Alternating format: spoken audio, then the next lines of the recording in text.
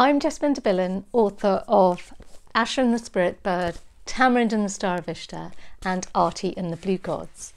Reading means the world to me, and libraries in particular were one of the reasons why, as a little girl growing up in Nottingham with my family, who emigrated from northern Punjab to the UK in the 1960s, I took books to my heart.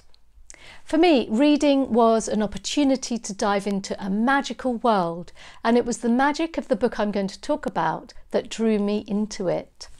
The book is uh, C.S. Lewis's The Lion, the Witch and the Wardrobe, and it's the book that inspired me to write my own stories.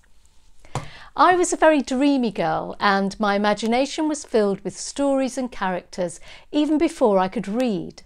So when I opened the pages of The Lion, the Witch and the Wardrobe, a book I borrowed from my local library, I was immediately enthralled by the story.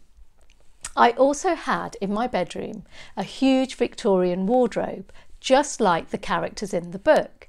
And when they disappear into this very ordinary wardrobe and have extraordinary adventures in a land of snow, kings and queens, lions and witches. I absolutely thought this, th that this story was for me. I remember opening the door to the wardrobe and pushing into the coats and clothes hanging in there, and I absolutely knew I was going to find Narnia. And if I didn't find it that day, I would definitely find it the next.